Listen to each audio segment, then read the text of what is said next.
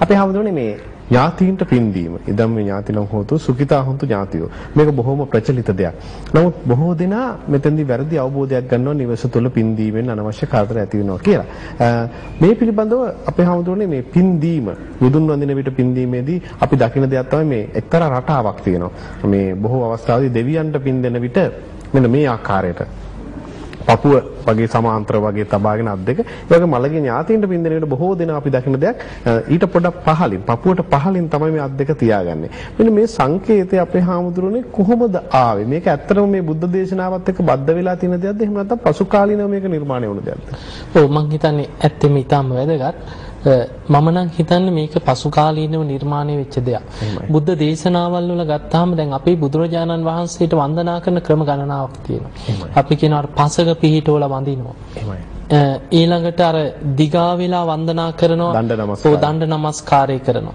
ඒ වගේම උක්කුටියෙන් ඉඳගෙන වන්දනා කරනවා. දැන් මහා බ්‍රහ්ම දෙවියන් වගේ බුදුරජාණන් වහන්සේ මුණ ගැහෙන්න එනකොට උක්කුටියෙන් ඉඳගෙන තමයි වන්දනා කරන්නේ. එතකොට මේ වගේ සමහර දේවතාවරු බුදුරජාණන් වහන්සේ මුණ ගැහෙන්න ඇවිල්ලා වඳින ක්‍රම තියෙනවා. එතකොට මේ වගේ වන්දනා කරන ක්‍රම තියෙනවා.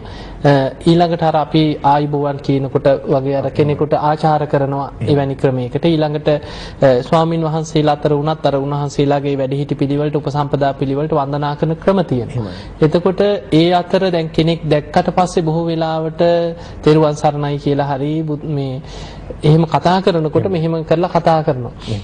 නමුත් දැන් අපි බොහෝ වෙලාවට අර බුදුන් වඳිනකොට අපි නලලට අත් දෙක තියලා වඳිනවා සමහරු මෙහෙම තියලා වඳිනවා. ඒ වන්දනා කරන ක්‍රම මේවා බොහෝ වෙලාවට පසු කාලින වර්තමානයේ හදාගත්ත දේවල් අතර දැන් ඔය දෙවියන්ට පින් දෙනකොට සමහරු එහෙම වඳින්නේ නැහැ. ඇත්තෙන්ම මේ සාමාන්‍ය මම නම් හිතනවා දෙවියන්ට අපි එහෙම වන්දනා කරාට ප්‍රශ්නයක් නැහැ.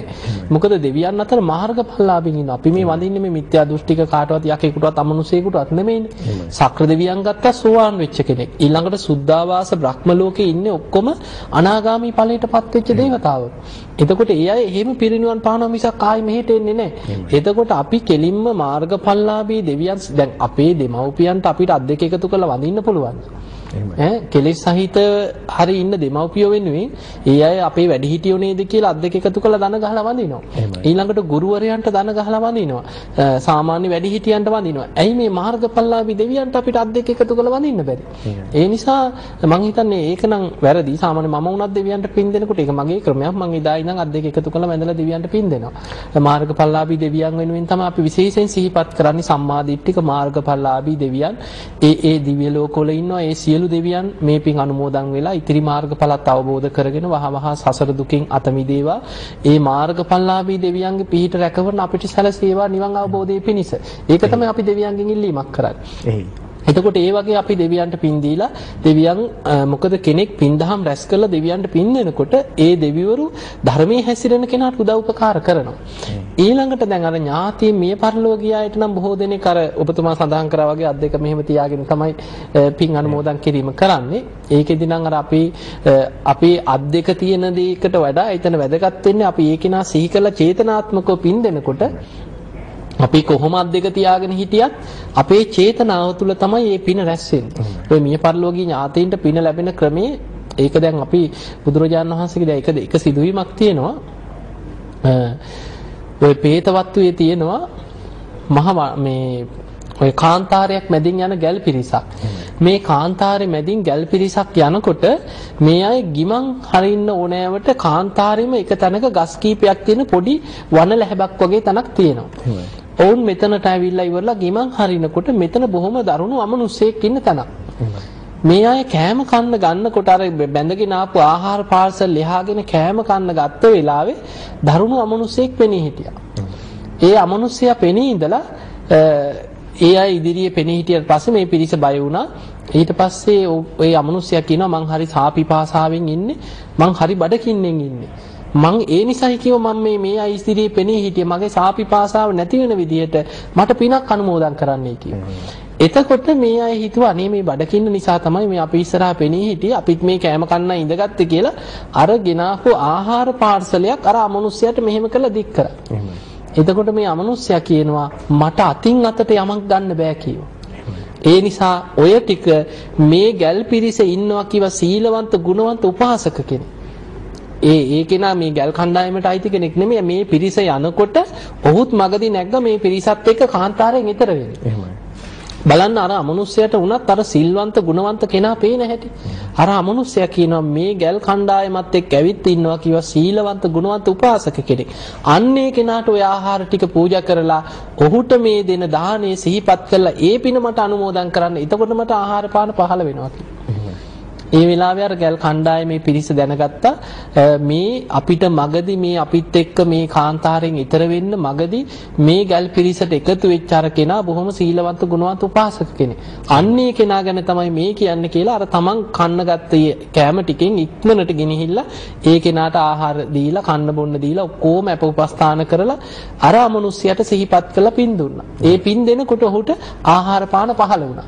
එතකොට අපිට පේනවා මේ දැන් අපිට මිය පරලෝකීය ඥාතියෙකුට අතින් අතට යමක් දෙන්න පුළුවන් කමක් නැහැ. හැබැයි අපි දෙන දේට අනුව පහළ වෙනවා. ඒක දේශනාවල තියෙනවා දැන් ওই පේතවත්වයේම තියෙනවා එක්තරා ස්වාමින් වහන්සේ නමක් උන්වහන්සේ මහරහතන් වහන්සේ නමක්. නමුත් උන්වහන්සේගේ දෙමව්පියන් මිය පරලොව ගිහිලා പ്രേත ලෝකෙ ඉපදිලා. ඉතින් උන්වහන්සේ පින්ඩපාත යනකොට මේ මිය පරලොව ගිහිල්ලා പ്രേත ලෝකෙ ඉපදිච්ච දෙමව්පියන් පෙනී ඉඳලා පින් ඉල්ලුවා. ඒ වෙලාවේ උන්වහන්සේ මොකද කරේ? පින්ඩපාත ගිහිල්ලා Tamanට ලැබිච්ච දානෙ ටික අරගෙන ගිහිල්ලා අනික් ස්වාමීන් වහන්සේලාට බෙදලා පින් දුන්නා. පින් දීපු වෙලාවේ අර මිය පරලෝකයේ දෙමාපියන්ට කුසගින්න නිවුණා කියනවා. හැබැයි ආයෙමත් පෙනී ඉඳලා කියනවා අනේ ස්වාමීනි අපි හරි පිපාසෙන් ඉන්නේ. අපිට පැම් පහළ වෙන විදිහ පිනක් කරන්න කියලා. උන්වහන්සේ මොකද කරේ? පැන් පෙරලා අරගෙන ගිහිල්ලා ඒ පැන් පූජා කරලා භික්ෂුන් වහන්සේලා ඉන්නේ ආරාමේ ඒ පැන් කලවලට මේවා පුරවලා මේ විදිහට පැන් පූජා කරලා පින්. අන්න එතකොට තමයි පිපාස සංසිඳුනේ. හැබැයි මේ අමනුෂ්‍ය පෙනී ඉඳලා කියන අනේ ස්වාමීනි අපිට දැන් කුසගින්නක් නැහැ. අපිට පිපාසයක් නැහැ. හැබැයි අපිට අඳින්න වස්ත්‍රයක් නැහැ කියනවා. අපිට වස්ත්‍ර පහළ වෙන විදිහ පිනක් කරන්නයි කිව්වා. උන්වහන්සේ මොකද කරේ පාංශ කුල රෙදි කෑලි එකතු කරලා අරගෙන මේක සිවුරක් කරලා ඉවරලා පඳු ගහලා සුද්ධ කරලා සිවුරක් හැටියට සකස් කරලා ගිහිල්ලා ඒ ආරාමේ හිටිය ස්වාමින් වහන්සේලාට පූජා කරා මේ චීවරය මම මේ විදිහට සකස් කරේ මේ චීවර පූජාවෙන් රැස් වෙන පින මගේ මිය පරලෝකයේ ඒ പ്രേත ලෝකේ ඉන්න දෙමව්පියන්ට අනුමෝදන් වෙලා සුවපත් වේවා කියලා අර සිවුරක් සකස් කරලා පූජා කරලා පින් දුන්නා. අන්න එතකොට වස්ත්‍ර පහළ වුණා. හැබැයි වස්ත්‍ර පහළ වුණාට පස්සේ අර ප්‍රේතිව ආයමත් වෙණි ඉඳලා කියනවා ස්වාමීනි අපිට දැන් වස්ත්‍රක් තියෙනවා කියනවා. අපි හිතන හිතන විදිහට අපේ ශරීරයට වස්ත්‍ර පහළ වෙනවා කියනවා. දැන් බලන්න පූජා කරේ සිවුරක් භික්ෂුන් වහන්සේ නමකට. නමුත් ඒ පින අනුමෝදන් වෙනකොට අර අමනුෂ්‍යයට තමන් හිතන විදිහට තමන්ගේ ශරීරයට වස්ත්‍ර පහළ වෙනවා. අර පිනේ විපාකේ. ඊළඟට කුසගින්න නැති වෙනවා. පිපාසෙ නැති වෙනවා. හැබැයි ස්වාමීනි අපිට හේවණක් නැහැ කියනවා. අපි යන යන තැන අපි ගින්නෙන් පිච්චෙනවා කියනවා. මේ අවු රශ්මියෙන් අපි හරියට ගින්දරකින් පිච්චෙනා වගේ පිච්චෙනවා. ඒ ඊළඟට වහිනකොට අපිට මේ වැටෙන වතුර බින්දුව වලට අපේ ශරීරේ විශාල වේදනාවක් ඇති වෙනවා කියනවා. ඒ නිසා ස්වාමීනි අපිට අර ආරක්ෂාවක් හෙවණක් ලැබෙන විදිහේ අපිට විමානයක් ලැබෙන විදිහේ පිනක් කරන සේක්වා කියලා ආයිමත් පෙනී ඉඳලා කියනවා. උන්වහන්සේ මොකද කරේ? තවත් හිතවත් කීප දෙනෙක් එකතු කරගෙන කණු හතරක් හිටවලා අර විදිහට වරිච්චි බැඳලා මේ වහලයක් සකස් කරලා මේ වගේ පුංචි කුටියක් හැදුවා.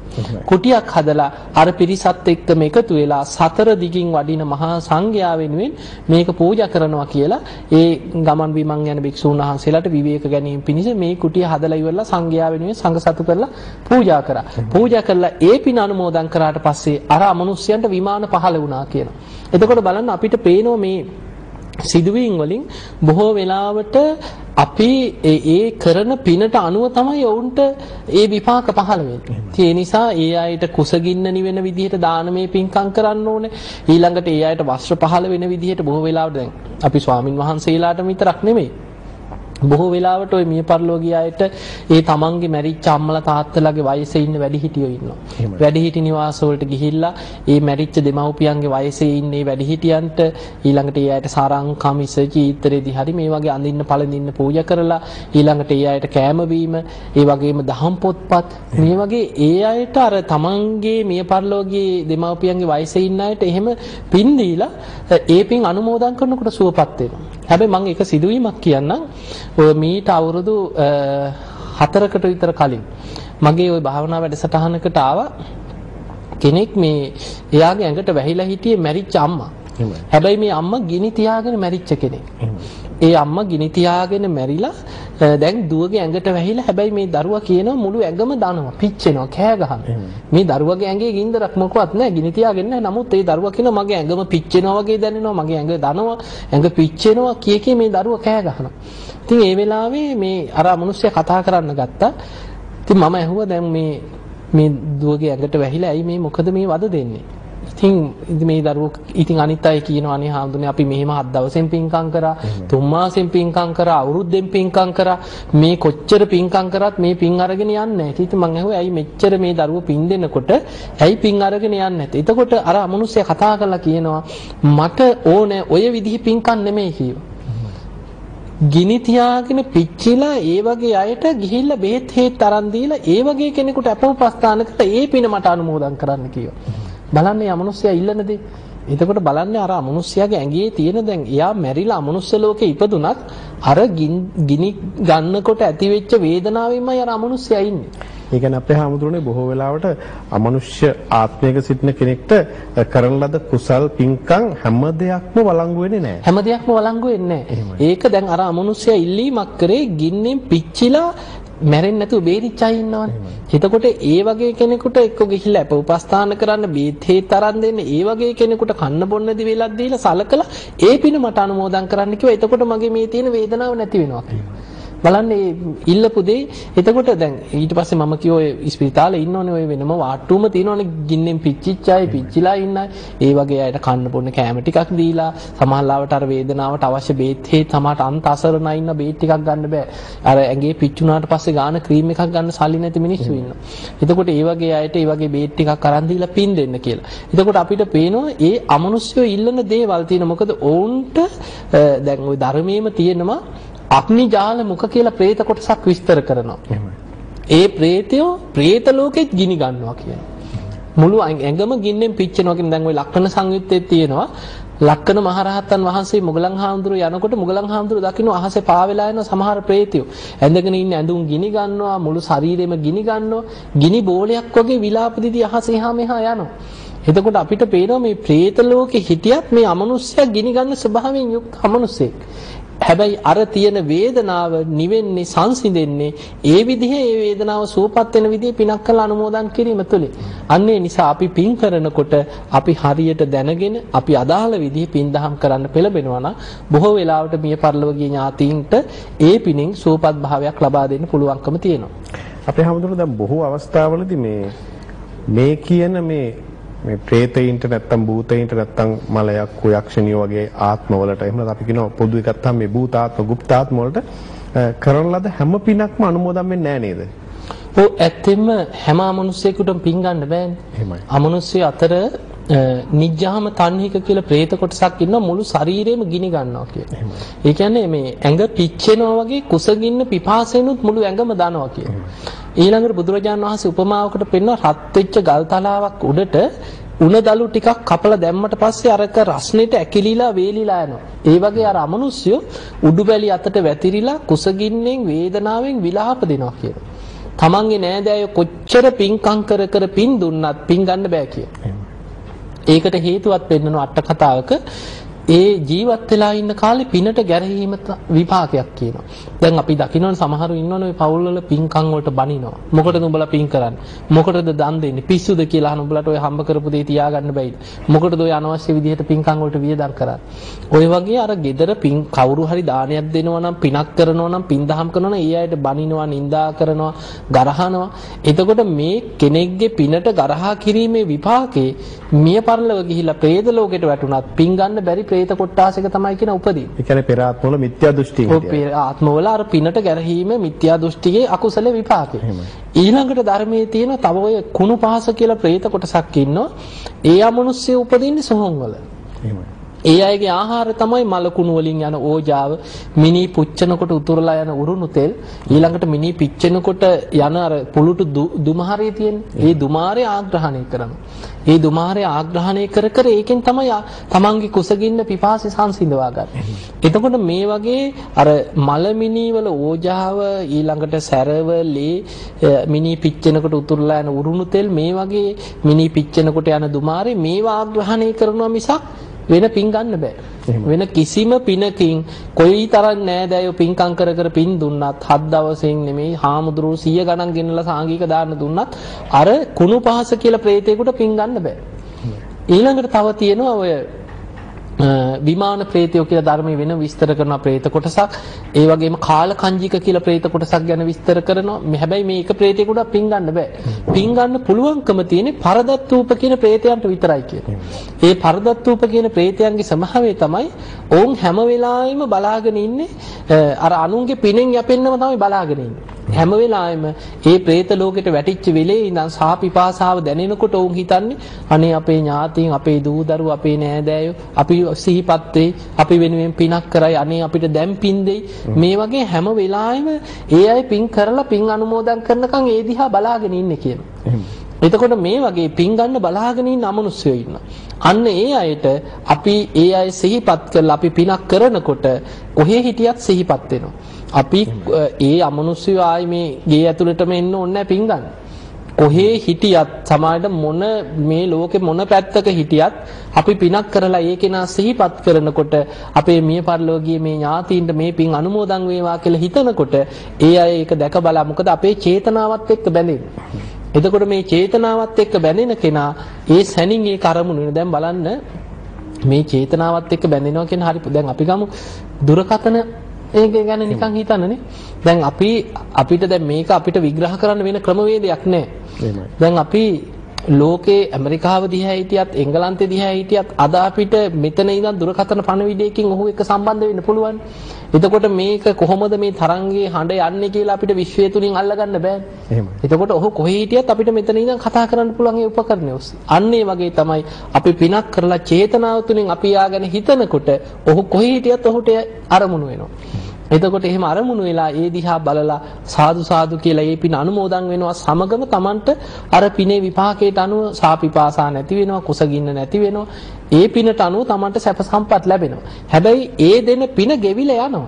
මේ පින කියන එක නිත්‍ය දෙයක් නෙමෙයිනේ. දැන් අපි ලොකු පිනක් කරලා මිය පරලෝකීය ඥාතියට පින් දුන්නාට පස්සේ ඔහුට ඒ പ്രേත ලෝකේ ඉන්න තාක්කල් අර පින ප්‍රමාණවත් නැහැ. අර පිනේ විපාකයට අනුව සමායට අවුරුදු ගාණක් අවුරුදු 5ක් 10ක් අවුරුද්දක් හරි මාස ගාණක් හරි සාපිපාසාවක් නැතුව പ്രേත ලෝකේ ඉඳී. අර පිනේ විපාක ගෙවිලා ගෙවිලා අඩු වෙනකොට ආයෙමත් කුසගින්න දැනෙනවා. ආයෙමත් පිපාසි දැනෙනවා. ආයෙමත් හිතෙනවා අනේ අපේ දරුවා අපිට තව පින් දෙනවා නම් කොයිතරම් හොඳද? අනේ දැන් අපි ආයි සාපිපාසාවෙන් ඉන්නේ කියලා පින් ගන්න බලාගෙන ආයෙමත් උත්සාහ කරනවා. ඒ නිසා තමයි පින් දෙන කෙනා අපි නිතර නිතර ඒ අයට පින් දෙන්නේ. දැන් අපි මිය පරලෝකීය ඥාතියට හත් දවසින් තුන් මාසෙන් පින දීලා එතනින් ඔහු අමතක කරන්නේ අපි ඒ වෙනුවෙන් අවුරුදු පතා පින්කම් කරනවා සමහර ලාවට මාස පතා පුළුවන් වෙලාවට දන් දෙනවා. ඒ වගේ මිය පරලෝකීය ඥාතින් වෙනුවෙන් නිතර නිතර නිතර නිතර පින් කර කර පින් අනුමෝදන් කිරීම කළ යුතුයි. හැබැයි මාර ඔබතුමා කලින් සඳහන් කර ප්‍රශ්නේ ඊටාම වැදගත්. අපි අර gedara පින් දෙන දෙන්න හොඳ නෑ කියන අදහස තුළ දැන් අපි ඕක එකපාරට හොඳ නෑම කිව්වොත් කෙනෙක් හිතන්න පුළුවන් අපි කොහෙද එහෙනම් පින් දෙන්නේ. gedara පින් දෙන්න හොඳයි පින් කරාට පස්සේ. ඒ නිසා gedara හත් දවසේ දාන වේලාවේ තුන් මාසේ දානේදී විශේෂයෙන් මිය පරලෝකීය ඥාතිය වෙනුවෙන් මාස් පතා හරි ලොකු පිනක් gedara කරා නම් අන්න පින් දෙන්න හොඳ වෙලා. හැබැයි පිනක් කරන්නේ නැතුව බොරුවට උදේ හවස මිය පරලෝකීය ඥාතීන් සිහිපත් කර කර බොරුවට පින් දෙන්න යන්න එපා. එතකොට ඔහුට ගන්න දෙයක් නැහැ දැන් අපි හිතමු මේ අපි කෙනෙකුට දැන් පිනක් දෙන්නේ අඬ ගහලා අපි දෙයක් දෙනවනේ. එතකොට අපි ඒ කෙනාට සුවපත් වෙන්න අපි පින් දෙනකොට ඔහු සුවපත් වෙනවා. අපි දානයක් දුන්නා නම් දානමේ පින දෙන අනුමෝදන් කරනකොට ඔහුට සාපිපාසාව නැති වෙනවා. එතකොට අපි ඔහුට දෙයක් දෙන්නේ නැතුව සැරින් සැරේ බොරුවට උදේ හවස අඬ ගහනවා. ඒකම අපේ හැමදෙරෝනේ බොහෝ වෙලාවට විපතකට බලපාන. විපතකට බලපාන. ඔහුට උනත් තරහ යනවනේ. දැන් අපිට දෙන පිනකුත් නැහැ. බොරුවට උදේ හවස නම කී කී කතා කර කර මේ පින් දෙන්න හදනවා. නමුත් ඒ අයට සාපිපාසාව නැති වෙන්නෙත් නැහැ. ඒ අයට ලොකු පිනකුත් නැහැ. ඒ අයට ගන්න පිනකුත් නැහැ. නමුත් කරපු පිනකුත් නැහැ. උදේ හවස බොරුවට සිහිපත් කර කර පින් දෙන්න හදනවා. එතකොට එහෙම වෙනකොට දැන් මිනිස්සෙකුට උනත් හිතන් දැන් දෙයක් අපි අඬ ගහලා කෙනෙකුට යමක් දෙනවා. එහෙමයි. එතකොට ඔහු ඒකෙන් කන්න බොන්න දෙයක් නම් සුවපත් වෙනවා. ඊළඟට දැන් අපි නිකන් හිතමු පාරයන් හිඟන්නේ කියලා. හිඟන මිනිස්සෙකුට අපි අනේ පව් කියලා හිතලා අඬ ගහලා බත් පිඟානක් බෙදලා දෙනවා. ඒ මිනිස්සයා මේක කනවා. එතකොට දැන් මේ මිනිස්සයාට අපි දැන් ඔන්න කෑම වේලක් දුන්නා. ඊට පස්සේ අපි නිකන් අඬ ගහලා නිකන් හිස් පිඟාන විතරක් දුන්නා. ඊට පස්සේ අර මිනිහයාට තරහ යනවනේ. දවස් දවසක් ඊට පස්සේ ඉවසගෙන යා කමක් නැහැ මේ මිනිහයා මට කලින් කැම ටිකක් දුන්නානේ කියලා. දවස් දෙක තුනක් හිස් පිඟාන දික් කරොත් මොකද වෙන්නේ? අර මිනිහයාට තරහක් යනවා, වෛරයක් ඇති වෙනවා. උන් මට කන්න දෙන්නෙත් නැහැ, බොරුවට නිකන් පිඟාන දික් කරනවා කියලා තරහ යනවනේ. අන්න ඒ වගේ අර නිවෙස්වල පිනක් කරන්නේ නැතුව බොරුවට උදේ හවස මිය පරලෝකයේ ඥාතීන් සිහි කරන්න ගියාම ඔවුන්ගෙන් කරදර බාධා ඇති වෙන්න ඉඩ කඩ තියෙනවා. අපේ හැමදෙරේ තවත් පැනයක් තියෙනවා මේ බොහෝ දෙනා අසන ප්‍රශ්නයක් තමයි මේක මේ මල් පහන් පූජා කරනවා බුදුන්ට තමන්ගේ නිවසේ. ඒ මල් පහන් පූජා කරලා ඉවර වුණාට පස්සේ දෙවියන්ට පින් දුන්නාට පස්සේ මළගේ ඥාතීන්ට පින් දුන්නාට කමක් නැද්ද? දැන් ඔබ වහන්සේ විශේෂයෙන්ම සඳහන් කරන ආකාරයට පිනක් කිරීමෙන් අනතුරුව තමයි මළගේ ඥාතීන්ට පින් අනුමෝදන් කළ යුත්තේ. මෙතනදී මේ මල් පහන් පූජා කිරීමෙන් අනතුරුව මේ අනුමෝදන් කරන පින අ, වඩා වැදගත් වෙනවද කියන වගේ ඒ වගේම විශේෂයෙන්ම අහන මේ ම්, අපේ වැඩිහිටි අම්මලා නිතර අහන ප්‍රශ්නයක් තමයි අපි හඳුනන්නේ මේ බොහෝ අවස්ථාවේදී මේ බුද්ධ පූජාව uh, එහෙම නැත්නම් ගිලම්පස බුදුන් වෙනුවෙන් පූජා කළාට පස්සේ බුදුරජාණන් වහන්සේ වෙනුවෙන් පූජා කළාට පස්සේ ඉන්න අනතුරුව තමන්ගේ මළගේ ඥාතීන්ටත් ඒ පින් අනුමෝදන් කරවීම සුදුසුද යන වගේ. ඔව් ඇත්තෙම මං හිතන්නේ ඒක ඉතා වැදගත් ප්‍රශ්නයක්. ඒකෙදි නිවසේ දැන් අපි බුදුන් වඳිනකොට අපිට හිතේ සද්ධාාවක් ඇති වෙනවා. අපි තුනුරුවන් වන්දනා කරලා මල් ටිකක් පූජා කරලා ගිලන් පස්සේ එකක් වතුරු වීදුරුවක් හරි තියලා පිනක් තියෙනවා. හැබැයි ඒ පින මිය පරලෝකීය ඥාතියට අපි මේ බුදුන් ඇඳලා ඒ වෙලාවේ රැස් කරගන්න පින ඔහුට ජීවිතේ සුවපත් කරගන්න මහා විශාල පිනක් නෙමෙයි. ඔහුට අවශ්‍ය දානයක් දීලා කාට හරි උදව්වක් කරලා තමන්ගේ සාපිපාසාව නැති කරගන්න අවශ්‍ය ලොකු පිනක්. ඒ අරින්න දැන් බුදුන් ඇඳලා පින් දෙනවා නම් ඒක කමක් නෑ හැබැයි එතකොට ඔබ නිවසේ දිනපතා පින් දෙනවා නම් බුදුන් ඇඳලා ඉවර වෙලා ඉදම් මේ ඥාතීනං හෝතු සුඛිතා හොන්තු ඥාතියෝ කියලා පොදුවේ පින්. එතකොට අපි එක්කෙනෙක් දෙන්නෙකුට විතරක් නෙමෙයි පින් කැමති සියලු ඥාතීන් මේ පින් ලබාගෙන සුවපත් වේවා. එතකොට තමන්ගේ වර්ග પરම්පරාවල වල පින් අපේක්ෂාවෙන් ඉන්න සියලු ඥාතීන් සිහිපත් කරලා අපි පින් දෙනවා. ඊළඟ දේ තමයි ඔය පින් දෙනකොට අපි සිහිපත් කරන්නේ මේ එක්කෙනයි දෙන්නයිනේ. එහෙමයි. දැන් අපි ගමු පින් ගන්න බලාගෙන ඉන්නවා પરම්පරාගත විශාල ඥාති පිරිසක්. එහෙමයි. ඒ අය ගැන හිතන්නේවත් නැහැ. අපි හිතන්නේ මේ ළඟ අවුරුදු දෙක තුනක් ඇතුළත මිය පල්ලව ගිය අනේ අපේ අම්මා මේ ළඟදි මැරුණා නම් අම්මා මතක් වෙන්නේ. තාත්තා මැරලා සමහරට අවුරුදු 10ක් 15ක් නම් තාත්තා. එහෙමයි. එක්කෝ එහෙම එකක් තියෙනවා බොහෝ වෙලාවට මේ පවුලේ ළඟ ආසන්න මැරිච්ච දෙන්නේ තුන් දෙනෙක්ගේ නම් විතරයි මතක් වෙන්නේ. එතකොට එහෙම වෙනකොට දැන් ඒ අයට විතරක් අපි පින් දෙනවා නමුත් අපේ මිය පරලොවගේ අවුරුදු 50 60 70 වෙච්ච නෑදෑයෝ ඉන්නවා සමහරට පෙර ජීවිතේ අපේ ඥාතීන් වෙන්න පුළුවන් මැරිච්ච අත්තලා මුත්තලා වෙන්න පුළුවන් පිනක් නැතුව සහ පිපාසාවෙන් දුක් විඳිනවා අනේ අපේ දරුවෝ නෑදෑයෝ අපිට පින් දෙයි කියලා. හැබැයි ඒ අය සිහි කරන්නේ ඒ අයට පින් දෙන්නේ අර කීප දෙනෙකුගේ නම් විතර කියලා ඒ ටික දෙනාට විතරයි පින් දෙන්නේ. එතකොට අර ඥාතීන්ටත් හිතේ වෛරයක් ඇති වෙන්න පුළුවන්. මුන්ට අපිව මතක් වෙන්නේ අපිට පින් දෙන්නේ අර දෙන්න තුන් දෙනාට විතරයි පින දෙන්නේ කියලා. ආමතුරුනේ එතෙන්දී මේ ඉදම්මේ ඥාතිනම් හෝතු සුඛිතා හොඳු ඥාතියෝ කිව්වොත් එතෙන්දී තමන්ගේ ආත්ත මුත්ත නත්ත පනත්ත එතන සියලු දෙනාට පොදුවේ හැමෝටම අයිති වෙනවා. ඒ නිසා පින් අපේක්ෂාවෙන් ඉන්න වර්ග પરම්පරාවල් වල සියලු ඥාතීන් සංසාරික ඥාතීන් පවා අර නම් සඳහන් කරපු අයයි නොකරපු අය පින් ගන්න පුළුවන් හැම දෙනාටම අයිති වෙනවා. අන්න ඒ නිසා පොදුවේ පින් දෙනකොට අර දැන් අපි ගමු හත් දවසේ දාන නම් කරන්නේ දින හතර කලින් මිය පරලෝකීය කෙනානේ. එතකොට අපි යා විශේෂ කරනවා. හැබැයි එයා විශේෂ කරත් ඔබ මතක තියාගන්න අපි ගමු නිකන් අපි හිතමු කවුරු හරි තමන්ගේ තාත්තා කියලා. ඒ තාත්තගේ නම කියලා පින් දෙනකොට මේ තාත්තා ඇතුළු මිය පරලොව ගිය සියලු ඥාතීන්ට මේ පින් අනුමෝදන් වේවා කියලා එහෙමවත් අනිත් අය සිහි කරන්නේ. එහෙමයි. ඊළඟට තුන් මාසෙන් මිය පරලෝකයේ තාත්තා වෙනුවෙන්ම තුන් මාසෙන් දාන දෙන බව ඇත්ත. හැබැයි මේ තාත්තව සිහිපත් කරලා මේ තාත්තගේ නම කියලා එයාට විතරක් පින් දෙන්න එපා. මිය පරලෝකයේ වර්ග પરම්පරාවල වල අනෙක් සියලු ඥාතීන්ටත් මේ පින් අනුමෝදන් වෙලා සූපත් වේවා කියලා හැමෝටම පොදුවේ පින් දෙන්න. අන්න එතකොට මේ හැමෝටම මේක බෙදිලා යනවා. ඒ නිසා මොකද දැන් මෙයා එක්කෙනෙක් පින් ගත්තා කියලා අනිත් එක්කෙනාට ඒක අඩු වෙන්නේ නැහැ. මේක චේතනාත්මකව යන දෙයක්. දැන් අපි සල්ලි දෙනකොට මේක බෙදිලා ගොඩකට බෙදුනොත් එක්කෙනාට හම්බ වෙන කොටස අඩු වෙනවනේ. එහෙමයි. අන්න එහෙම දෙයක් නෙමෙයි මේක. අන්න ඒ නිසා ඒක ඔබ තේරුම් ගන්නට.